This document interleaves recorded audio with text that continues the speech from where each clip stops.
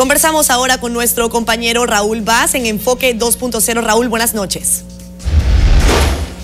Catherine, muy buenas noches a ti y a todos los que nos están viendo. Este Enfoque 2.0 comenzará con una pregunta que le hago a todos los que nos están viendo.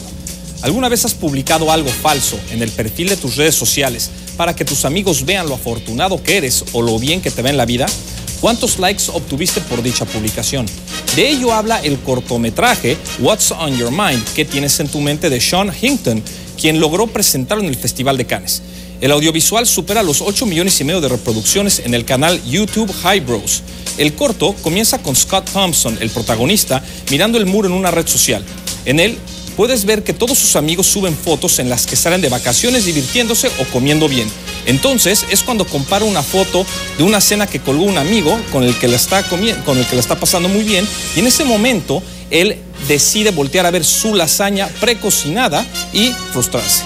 Otra publicación muestra una pareja feliz y Scott mira a su novia, que está sentada a dos metros de él, de él, en el sofá viendo televisión con un semblante serio. En ese momento, el protagonista publica su primer mensaje falso. Esta noche, sushi con mi chica. Al ver el éxito de sus palabras en la red social, continúa con la dinámica llegando al extremo. Pese al hecho de que Facebook no aparezca de manera explícita, la referencia es obvia. El video es una interesante manera de explicar la influencia de las redes sociales en las personas y la forma en que los usuarios perciben su propia vida, ya que en ocasiones pueden engrandecer o exagerar sus publicaciones para no parecer menos que sus amigos. ¿Es exagerado el corto en relación a la vida real? ¿Crees que somos sinceros en las redes sociales o que todo lo que publicamos está fuera de la realidad?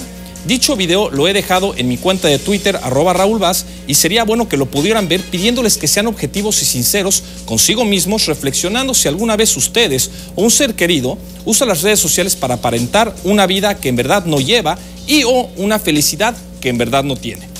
No hay duda de que las redes sociales sirven para muchas cosas, pero tristemente también sirven para aparentar y desinformar sobre una realidad inexistente que esconde algo que avergüenza. Catherine, esto fue todo aquí en Enfoque 2.0 por Enfoque Final. Yo soy Raúl Vaz. Muy buenas noches. Muy buenas noches también para ti, Raúl.